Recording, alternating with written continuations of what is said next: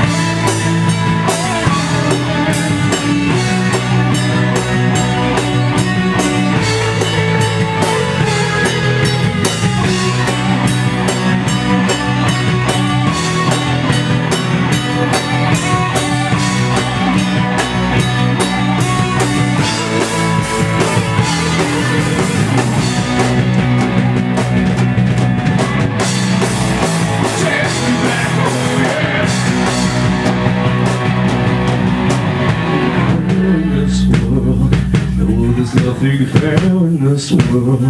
There was nothing fair in this.